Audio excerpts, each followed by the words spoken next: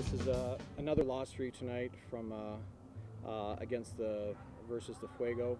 Another very tight game as far as the scoring is concerned. Um, I know last night when we spoke, you were saying about how if the boys that if the players that were not uh, that were not there to play or practicing, they were going to sit on the bench. I noticed today a lot of your players. I think all of them are here at batting practice. Uh, what what has happened? Well, their uh, mentality changed. Uh, that happens when they get threatened with death. And not that I threatened them with death, but uh, they got the message. Uh, I brought on my bench players tonight. They actually done a very good job. I'm extremely happy, extremely proud of them actually, because some of them have been sitting on the bench for a week, haven't seen the field.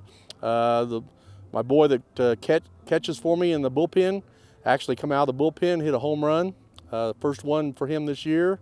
Actually, the first hit for him this year. He's only like he's only had like three ba base appearances, so uh, it's happy for him, and uh, hopefully we can move on from this. So, despite the fact that it is a, a loss the second night in a row, there were some very positive aspects to. Uh, absolutely, absolutely. I mean, uh, tonight the, the guys were actually rooting for each other, and uh, I, I think we really probably came into our own after tonight. To be honest with you.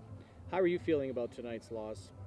Uh, I feel good about it actually, I, because uh, I learned a lot from my players because I, it shows we do have grit, and we're not going to give up. And I can go to my bench when I have to uh, to move forward. I mean, sometimes you got to use your bench, and tonight proved that we can use our bench and we can probably be successful.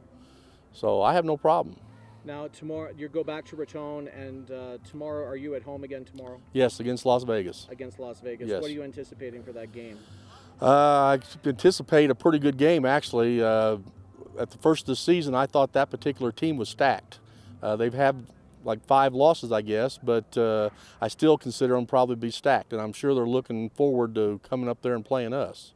What's the mindset of your? Uh, I know it's it's very soon to ask this, but what's the mindset of your players uh, when it comes to facing Las Vegas? Uh, as of right now, I don't think they have much mindset. They're on a they're they're on a roll, really. I mean, I know we've had a couple of bad losses, but again, uh, sometimes losses help you. And this is a long season, and I'm willing to play to the very end. And I think I've got the players that will play to the very end. Tonight proves it.